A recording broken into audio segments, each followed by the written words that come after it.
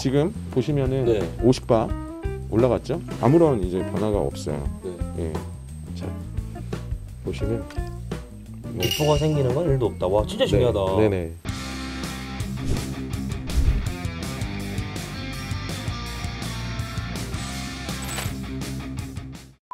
안녕하십니까 공급을 받았습니다 에어컨 자재나 동이라는 관을 연결하실 때 보통 용접을 하시거나 비싼 압착 공구를 사용하고 있지는 않으신가요? 용접을 할 경우에는 불꽃이 튀어서 화재의 위험이 있고 그리고 압착 공구를 사자니 가격이 만만치 않은 게 사실인데요. 만약에 이렇게 동관을 연결하는 게 그냥 간단하게 동관을 자르고 나서 끼우기만 끼우면 연결이 된다고 하는데 놀랍지 않나요? 그래서 오늘 시간에는 파커 브랜드의 줌락이라는 제품을 한번 소개시켜 봐 드릴까 하는데요. 오늘 영상도 끝까지 시청해 주셨으면 좋겠고요.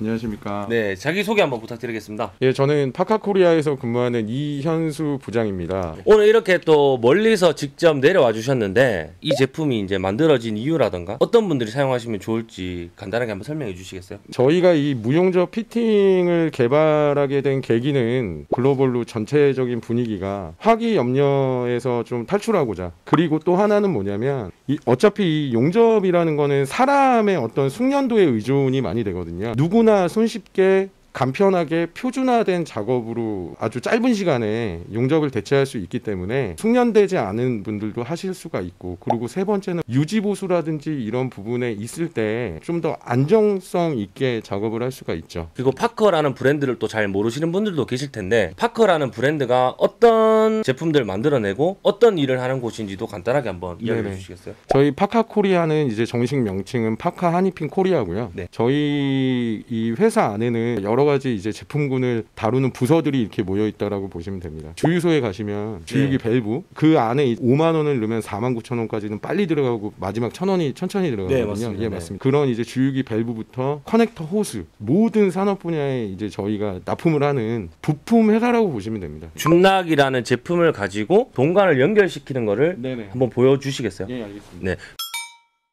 현장에서 네. 용접을 하지 않고 이 피팅을 사용을 해서 하게 된다고 하면 네. 처음에 이제 체결해야 되는 동관이 있을 겁니다. 동관을 바로 이제 커팅을 하시겠죠. 네, 이게 동파이프 커터죠? 예, 맞습니다. 네. 이런 식으로 이제 커팅기를 사용해서 이제 자르시면은 네. 체결해야 되는 부위가 이렇게 있습니다. 그러면 이제 보통 현장에서 사용을 하실 때 이런 디버링기 또는 뭐 사포질 겉에 외곽에 범한 없으면 돼요. 아 그러니까 여기 네. 지금 잘랐을 때 보통 이렇게 만졌을 때 끝에 네네네. 표면에 걸리는 부분만 맞습니다. 없게끔 네네. 파카에서는 무용접 fitting이 두 가지 종류예요. 요거는 이제 압착기를 이용해서 프레스 방식으로 눌러주는 이런 식으로 눌러주는 방식이거든요. 근데 지금 저희가 오늘 이제 소개해 드리는 이 one-touch fitting은 네. 저런 게 필요 없는 거죠? 예, tool이 필요 없습니다. 예. 4분의 1인치부터 1과 8분의 1인치까지 union이라고 하는데 이 네. 커플링이 이제 기본이 되겠죠. 이걸 가장 많이 사용을 하십니다. 이 배관이 삽입부에서 된다고 하면 이런 식으로 게이지가 있어요. 이만큼은 넣어줘야지 이만큼은 물고 견딜 수가 있는 거죠. 빠지지가 않는 거죠. 네. 그래서 현장에서 작업을 하실 때 게이지에 표시를 해서 이런 식으로 끝까지 밀어넣는 게 가장 중요합니다. 게이지만큼. 현장에서 이제 저희가 패킹이 이런 식으로 되어져 있는데요. 네. 요 뒤에 보시면 아주 자세하게 아 지금 얼마만큼 예, 깊이까지 맞습니다. 그리고 어떻게 작업을 하는지가 맞습니다. 나와 있네요. 네. 그러니까 제가 지금 작업을 하- 한 거를 보시면 너무 쉽죠. 네. 자르고, 면 깨끗하게 그쵸, 하고 맞습니다. 게이지만큼 체크하고 밀어넣는. 밀어넣고 네. 그럼 끝입니다. 기본적으로 이런 스트레이트 타입 커플링 union이라고 하는 네. 요 타입이 있고요. 그 다음에 이제 90도 네. 돌아가는 엘보 타입이 있고 여기 저희가 이제 좀 일본 말로 사라 네. 예, flare라고 하죠. flare 이쪽은 push로 낄 수 있게끔. 그러니까 한쪽은 지금 동관을 넣을 수 있고 반대쪽에는 나사선이 맞습니다. 암놈이 나 있네요. 네네. 맞습니다. 그 생산 라인에서 화기를 사용을 하게 되면은 어찌됐든 좀 위험성이 위험하니까, 있다 보니까 그래서 부품에다가 이 push를 바로 ZoomLock을 연결해서 와, 그러면 기계 부품에다가 장착을 맞습니다. 해서 바로 네 이거는 이제 서비스 밸브거든요. 볼밸브 타입도 이렇게 와. 나와요. 또 ZoomLock 타입으로 네네, 원터치로 맞습니다. 꼽아서 예, 예. 오. 그리고 만약에 작업이 잘못됐으면은 제거 공구가 있어요. 다시 제거할 수 있는 공간. 네. 이렇게 했을 때 이제 이제 외벽에 설치를 하더라도 네. 부식이나 이런 걱정이 없는 건 알겠고 정확하게 압력을 버텨낼 수가 있는지 그거 아, 궁금하거든요. 용접을 하는 이유는 사실은 리크가 없다. 네. 그죠? 그거에 대한 어떤 아예 시- 새는 게 1도 없다. 맞습니다. 네. 피팅은 네. 용접에 비해서 조금 견고하지 않다. 그런 이제 고정관념이라는 게 있잖아요. 네. 이 제품을 제가 이제 버금가는 음. 네, 무결점의 그런 제품이다. 이제 압력 테스트도 해주고 네네, 압력 테스트를 새는지 저희가- 안 새는지 맞습니다. 저희가 테스트를 해주실 거죠? 네, 이거 저기 안양에서 이거 메고 왔어요.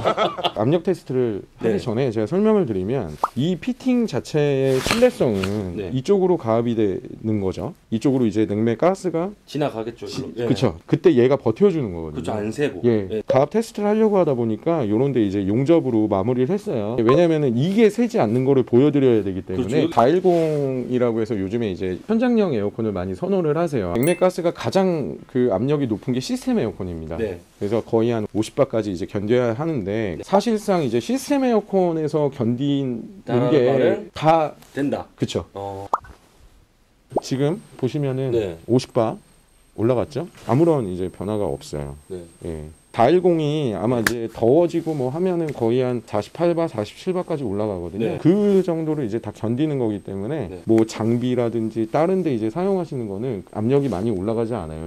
압력을 올리고 제가 이렇게 손을 갖다 대고 소리를 들어보려고 해도 새는 게 없는데 그래도 확실하게 거품을 내서 정말 알겠습니다. 미세하게 새는 곳이 없는지까지도 한번 확인을 해주시죠. 아, 예, 알겠습니다. 저희가 이거를 수조 테스트를 한번 해볼게요. 네. 일단은 압이 많이 들어가 있고요. 물에 담갔을 때 기포가 하나도 발생 안 해야 된다.